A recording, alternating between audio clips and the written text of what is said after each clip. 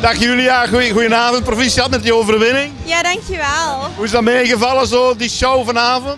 Voor mijn gevoel ging het niet helemaal super, maar ik ben echt heel blij hoe het uiteindelijk gegaan is. Ja. Ja. En wat ging er door je heen toen ze je naam riepen? Beetje ongeloof eigenlijk. maar heel veel blijdschap. Maar nu geloof je toch, hè? Ja, ja, nu wel, ja. Eh, ga je nu volop eh, catwalks lopen of wat ga, je, wat ga je nu doen in de toekomst? Ja, ik ga vooral catwalks lopen inderdaad. Vind ik echt heel leuk om te doen. Waar denk je binnen vijf jaar te staan? Geen idee. Ik hoop ergens waar ik wil dat ik ga staan. Zo- Zoek je nog in fashion en modeshows en dergelijke verder te gaan? ik hoop het wel, ja. Denk je dat je kunt opgepikt worden door eh, modelspotters of zo? Ja, ook. Alles maakt me niet uit. Ik vind het super is allemaal, zit je al lang in die wereld of nog, of nog niet zo kort? ik denk twee jaar.